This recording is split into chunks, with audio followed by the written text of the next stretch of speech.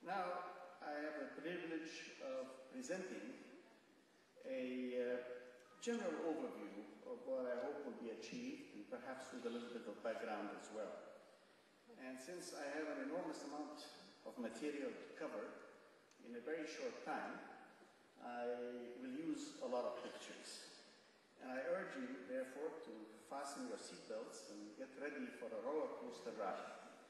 I will cover topics, as you can see, and uh, in dealing with this, which is the basis, I think, why we believe that investments in education, science, and culture are not only helpful to, to advance our own cause of uh, development in our countries, but will also help the cause of global understanding and better bridges between the United States and the countries of Muslim majorities and Muslim communities everywhere.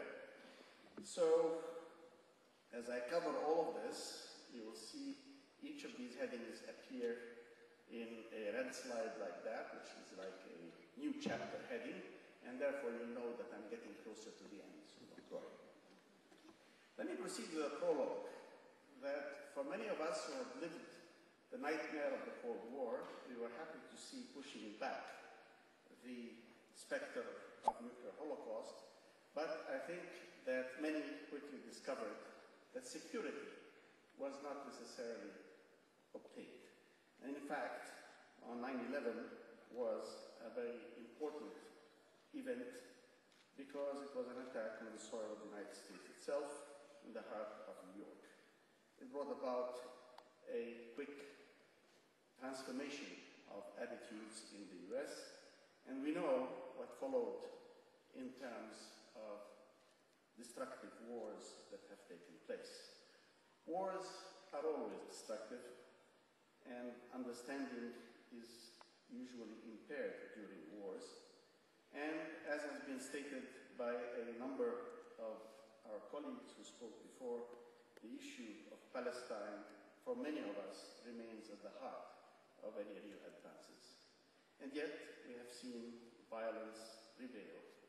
And for me, as a librarian, of course, that's a very particular picture, which I think is very powerful, whether it's books or bombs. But I will call a witness that I think everybody will recognize. Napoleon Bonaparte, who probably used the sword more than anybody, while at the same time did a lot in founding the civil code and other things, reflecting at the end of St. Helena, here is what Napoleon Bonaparte had to say. Do you know what astonished me most in the world? The inability of force to create anything. In the long run, the sword is always beaten by the mind. Now, coming from Napoleon, I think it's something worthy for all of those who use force to reflect on. For all of us, of course, in everything we do in our own societies, in the pursuit of security and stability, we seek peace and justice. And obvious reminders need to be restated. There shall be no security without peace. There shall be no peace without justice. There shall be no justice without equity, and no equity without inclusion. And as we all know, after a rather difficult period in relations between the United States and our part of the world, only issued a number of declarations, he actually came and spoke here in Egypt and promised a new beginning, to which, as you've heard from some of my colleagues, we have added a question mark. He delivered a masterful speech, but is it enough? People will ask. I think the answer is not yet, of course, we want some action on a number of important political fronts, but beyond the wars and the political problems that still divide us, can we find new initiatives in things that do unite us? And that is the purpose of this conference. Set aside for the moment some of these issues and see whether we can build better collaborations in education, science, and culture. Now, uh, we've heard several mentions uh, about clash of civilizations, dialogue, and alliance of civilizations. Actually, since the collapse of the Cold War and uh, the appearance that things would be going America's way, things have changed. From the chutzpah of my friend Frank Fukuyama declaring the end of history, and uh, to the late Sam Huntington's The Clash of Civilizations. Notice that the subtitle of The Clash of Civilizations is the remaking of world order. So it was a proposal as much as a thesis. And this is a summary of the presentation of what was basically an important paper then turned into a book, and in which he highlighted that the so-called Western Islamic confrontation would be there on a civilizational basis. The response to that came from President Khatami of Iran, then President of Iran, who at the United Nations called for a dialogue of civilizations, not a clash of civilizations. And sure enough, the United Nations adopted the views that were presented, and they produced by a distinguished panel of wise people this report, Crossing the Divide, Dialogue Among Civilizations. But some of us felt that this was not enough, and that we had to go further and to move from dialogue of civilization to the alliance of civilizations. And I had the privilege of serving on that committee.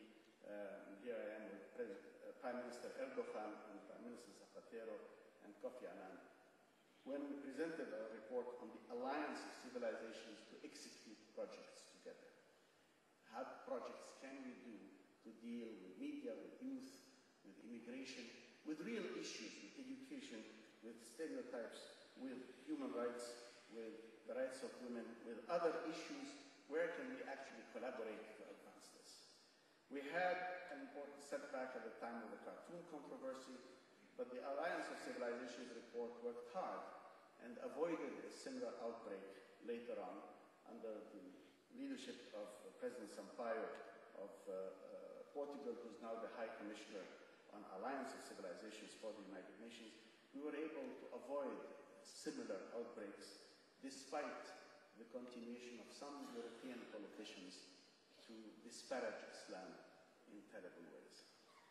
So what we want really, perhaps best captured in the writing of a sentence written by a writer who had a foot in each camp.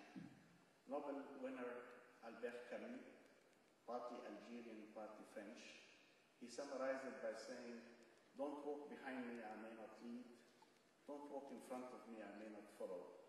Just walk beside me and be my friend.